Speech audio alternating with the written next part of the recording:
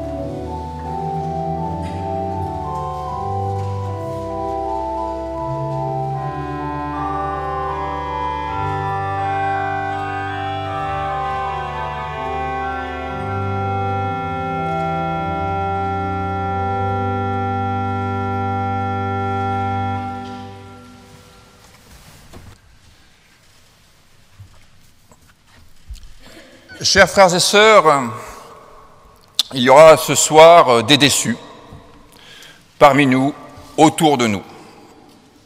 Il y aura, outre les candidats à l'élection présidentielle qui n'auront pas réussi à obtenir assez de suffrages pour être présents au second tour, des militants, des électeurs qui avaient fondé des espoirs dans une candidature qui ne pourra pas aboutir.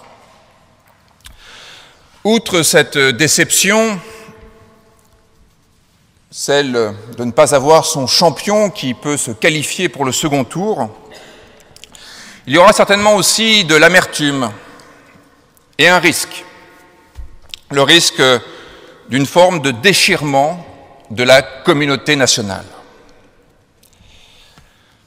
Depuis, depuis longtemps déjà, retentissent des arguments de campagne en forme de tout sauf lui, en forme de surtout pas elle, et peut-être pour un trop, grand nombre d'électeurs, la campagne présidentielle se commue en une sorte de jeu de massacre par lequel on entend éliminer celui, ceux dont on ne veut pas.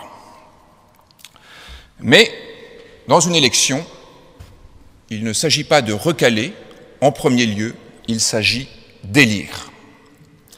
Il s'agit de faire porter sa voix sur un candidat dont on pense qu'il saura donner une direction convenable au pays. Dans 15 jours, une personne va être élue pour présider en notre nom et faire les grands choix pour notre avenir politique. Mais il n'aura pas nécessairement notre couleur politique. Il ne suivra pas nécessairement nos voeux et nos espoirs. Il ne nous suivra pas forcément. Pour certains, cette perspective est assez insupportable. D'autres ont pu dire qu'il quitterait le pays selon qui serait élu.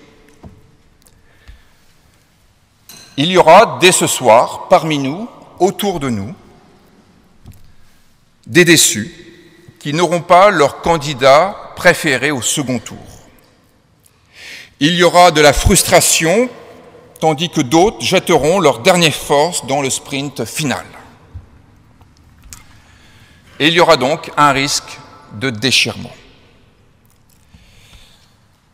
Les communautés ecclésiales ont montré leur capacité à dépasser cette forme de risque. Communautés ecclésiales ont montré leur capacité à ne pas éclater, à ne pas exploser en plein vol, pour des questions de clivage politique, sauf en de rares exceptions. Le religieux me semble être en mesure de pouvoir aider la communauté nationale à ne pas se défaire en pareille situation. Là où le politique en est incapable en période électorale. Le politique n'est pas en mesure de pouvoir seul protéger la communauté nationale parce que pour l'heure, le politique est d'abord obsédé par lui-même. Il pense à son élection. Et lorsqu'il y a des discours de rassemblement, ce sont des discours destinés à rassembler une majorité. La deuxième raison pour laquelle le politique n'est pas actuellement, pour l'heure de la campagne, en mesure de pouvoir aider la communauté à ne pas se défaire, c'est que le politique est dans l'ordre du pragmatique et non pas dans un registre symbolique. Le programme politique, les programmes politiques ne construisent pas actuellement une communauté, ils construisent des partis. Parce que le politique est dans le registre du faire. Et le faire, l'agir, s'oppose radicalement à ce qu'est une communauté. Et cela, je vais essayer de m'en expliquer. Dans l'épisode biblique qui oppose Jésus à ses disciples, la question tourne autour du qui est avec nous? Comment se constitue une communauté? Eh bien, ce que Jésus présente comme communauté, comme modèle de communauté, est absolument minimaliste. Cela ne repose sur aucun talent, sur aucune performance, sur aucune adhésion, sur aucun choix, sur aucun programme, sur aucune promesse. Sinon, celui de ne pas être dans une attitude d'hostilité.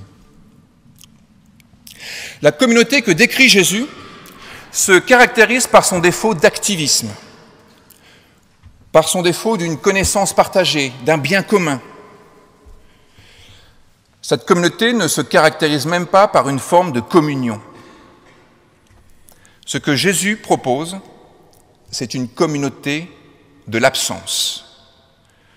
Absence d'hostilité, absence d'aversion. C'est une communauté qui n'agit pas. C'est une communauté qui ne fait pas, c'est une communauté qui ne produit pas. On pourrait presque reprendre les termes du philosophe Jean-Luc Nancy qui parle de la communauté désœuvrée, une communauté sans œuvre. La véritable communauté ne se choisit pas. Et c'est pour cela que la communauté ecclésiale est un élément intéressant d'observation. Car ce matin, vous êtes là sans vous être choisis mutuellement. La communauté ecclésiale est l'exemple même de la communauté qui s'offre et qui se reçoit, et qui ne se construit pas. Notre sacristain n'a pas fait la sélection à l'entrée du temple en disant tu rentres, tu ne rentres pas. Nous n'avons pas demandé à quiconque des preuves de sa bonne créance. Nous n'avons pas demandé vos lettres de dignité. La véritable communauté ne se choisit pas, elle ne se construit pas, elle est là, donnée par grâce seule. La communauté, nous ne pouvons qu'en faire que l'expérience. Parce que si la communauté était une construction, la construction par quelques-uns ou par tous, cela signifierait que l'on fabrique l'être commun, qu'on le construit, qu'il est donc artificiel en quelque sorte. Et dans ce cas, le résultat de cette production, le résultat de cette fabrication aurait autant d'existence communautaire que les bustes en plâtre de Marianne. Lorsque les hommes s'associent pour faire communauté, lorsqu'il y a un projet de communauté, lorsqu'on veut ardemment faire communauté ensemble, c'est-à-dire lorsqu'il y a un désir de communisme en fait, cela se réalise dans le registre du faire. Et dans le registre du faire, il y a toujours une part de violence. La communauté se fait sur le dos de quelqu'un, le bouc émissaire, qui canalise contre lui l'hostilité d'un groupe qui va ainsi communier par une violence partagée. Selon la logique, les ennemis de mes ennemis sont mes amis. Si vous êtes contre mon ennemi, alors vous êtes pour nous. C'est la logique inverse de celle que Jésus propose. Si vous n'êtes pas contre nous, alors vous êtes pour nous. Jésus nous révèle que la communauté, ce n'est pas quelque chose de construit, d'édifié. La communauté nous est donnée. La communauté nous est offerte. Nous ne pouvons en faire que l'expérience. Elle nous est donnée par grâce et c'est la raison pour laquelle elle est un lieu de désœuvrement et non pas le, le résultat d'une production. Et au fond, nous pourrions penser, nous pourrions penser à cet épisode des années 60 qui intervient après la rupture entre Jean-Paul Sartre et Albert Camus, qui s'était entre-déchiré après la publication de L'homme révolté par Camus.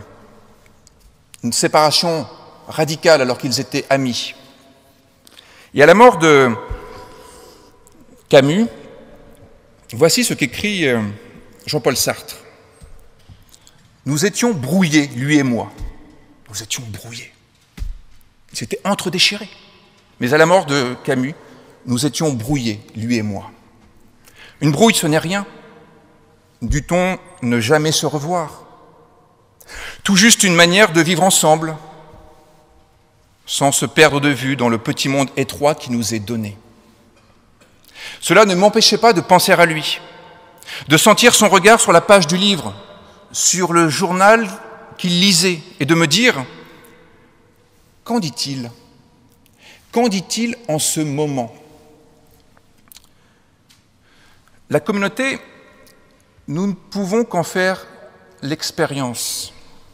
Et l'expérience, nous la faisons en particulier par l'expérience de la finitude. C'est l'expérience de Sartre au moment de la mort de Camus.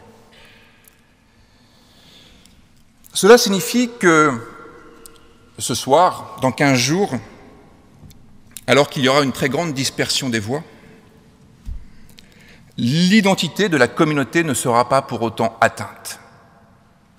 La communauté nationale ne sera pas pour autant blessée parce qu'il y a une dispersion des voix. L'image de l'homme qui ne suit pas les disciples et qui pour autant ne brise pas la communauté aux yeux de Jésus en est une figure exemplaire. Pour autant, nous sentons bien qu'il peut y avoir des déchirements en tous les cas des éraflures, parce que le clivage politique expose la communauté, et que même si l'identité de la communauté persiste, en dépit de ce qu'elle peut donner à montrer, il y a des soins qu'il faut essayer de lui prodiguer. Alors nous pouvons le faire en rappelant que la communauté nous précède, qu'elle n'est pas le résultat d'une harmonie, qu'elle n'est pas le résultat d'accords de gouvernement, qu'elle n'est pas le résultat de ralliement, surtout quand ces ralliements se font contre quelqu'un. Toutes ces stratégies sont tout à fait légitimes dans le contexte électif, mais elles sont partisanes et elles n'aident pas la communauté, la grande communauté. Alors l'autre moyen qui consiste à aider la communauté, qui consiste à prendre soin d'elle, correspond à ce qui fait l'essentiel de cet épisode biblique et qui consiste d'un côté à chasser les démons et de l'autre à arracher tout ce qui nous fait chuter. Alors évidemment, si je vous dis comme ça d'emblée que dans les 15 jours qui viennent et dans les mois qui suivront, ce qu'il nous faut faire, c'est de chasser les démons, vous allez me prendre pour une forme d'illuminé, un gentil illuminé, et aussitôt que vous aurez quitté le temple, vous direz maintenant passons aux choses sérieuses.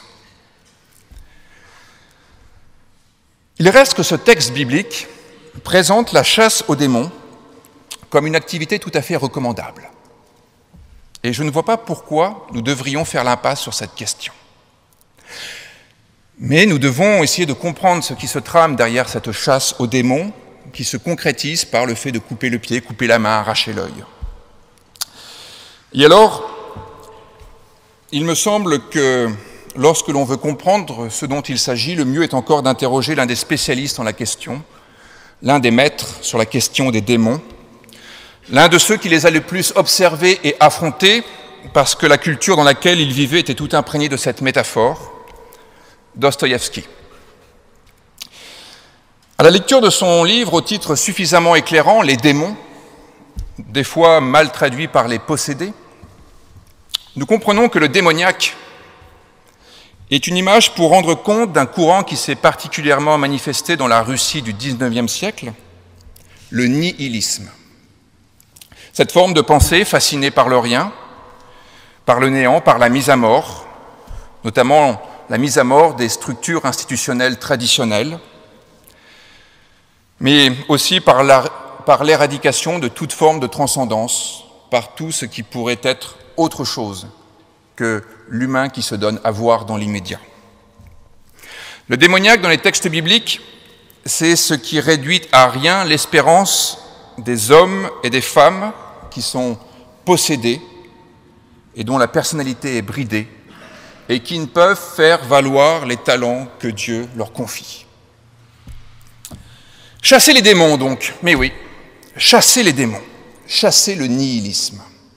Cette forme de rapport au monde qui vide la communauté de sa substance symbolique, qui évacue l'idée que l'homme est plus que lui-même, l'idée que l'homme est en construction, que l'homme est en devenir, qu'il n'est pas encore le dernier homme.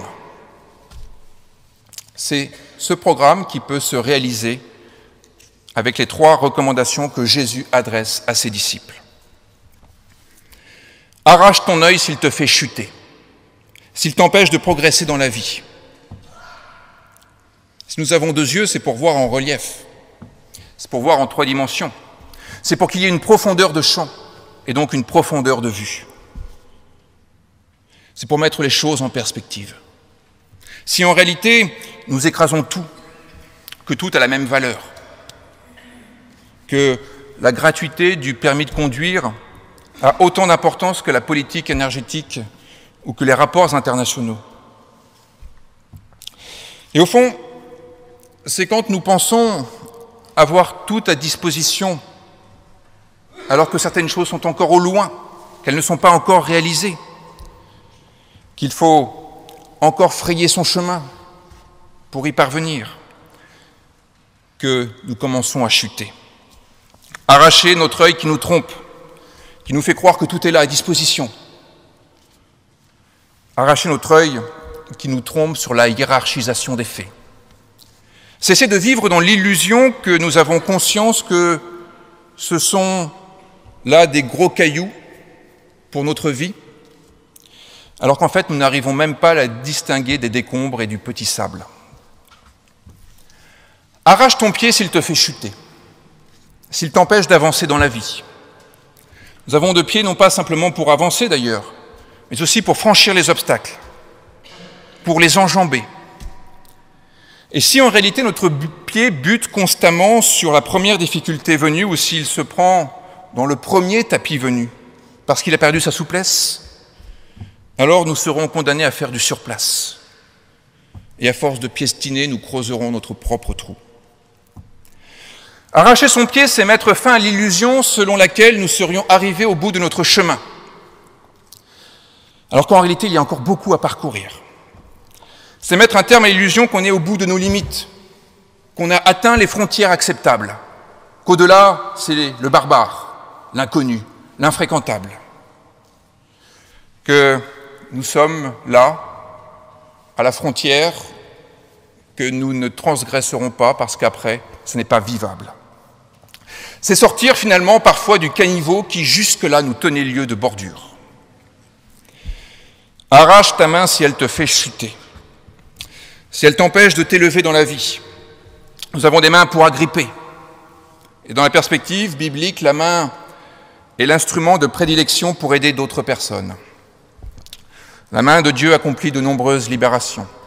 Elle sort du gouffre, elle sort du trou. Elle nous permet de reprendre un peu de hauteur, elle nous permet de respirer, elle nous permet de nous libérer de certains carcans. La main, c'est l'entraide, c'est la solidarité. La main de Dieu atteste la possibilité de solidarité. Si notre main est incapable d'une quelconque solidarité, si elle nous fait croire qu'il n'y a rien à prendre, rien à saisir, personne à aider, alors autant la rejeter, car elle pourrait nous donner l'impression que la solidarité n'a plus sa place dans notre quotidien. Ainsi, frères et sœurs, en un temps où la communauté nationale peut être fragilisée par les risques de clivage et de déchirement, il n'est certainement pas inutile de rappeler avec une certaine forme de force et de conviction que la communauté nous précède, qu'elle n'est pas le fruit de nos petits arrangements et de nos combines, que la communauté nous est donnée, qu'elle n'est pas à construire mais plutôt à retrouver lorsqu'elle semble disparaître derrière des discours partisans, derrière des attaques qui stigmatisent. Elle est à retrouver, à la manière de Sartre qui la retrouve dans l'expérience de la finitude. Tel candidat n'est peut-être pas de notre bord politique. Cela ne le disqualifie pas pour autant. Il nous faut peut-être nous libérer des étiquettes qui réduisent les personnes. Il nous faut peut-être cesser d'être comme ces disciples qui, au prétexte que cet homme ne nous suit pas, n'est donc pas avec nous et n'est donc pas pour nous. Il n'en est pas moins vrai qu'il y a des comportements, des discours, des promesses qui peuvent tendre à désagréger la communauté et à la vider de sa substance.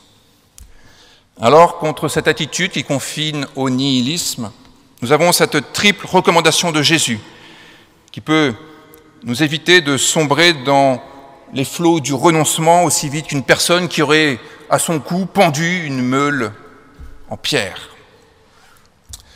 Nous avons une recommandation en forme de trois protestations. Trois protestations sur trois aspects fondamentaux de ce qu'est la capacité d'une communauté. Premièrement, protester, témoigner en faveur de la capacité que nous avons à hiérarchiser les questions, à dégager les enjeux de tel ou tel sujet, au lieu de considérer tout de manière égale, tout de manière écrasée, aplatie. Et c'est notre devoir de redonner au sujet leur véritable importance. Deuxièmement, la capacité à aller au-delà, des lieux où nous nous trouvons, au-delà des lieux communs, au-delà des lieux où, parce qu'il y a de la lumière, tout le monde s'y retrouve, à sortir de notre état, de ne pas nous contenter de notre état, et encore moins de l'état dans lequel on voudrait nous laisser. Troisièmement, envisager la solidarité comme axe essentiel de toute vie publique. Voilà un triptyque pour nous aider à ne pas croupir sur place ou, pour reprendre l'image du texte biblique, à ne pas être comme le ver qui se condamne à brûler à perpétuité dans un feu qui ne s'éteint pas. C'est un triptyque pour nous aider à penser la communauté au-delà des bricolages communautaires et partisans. Amen.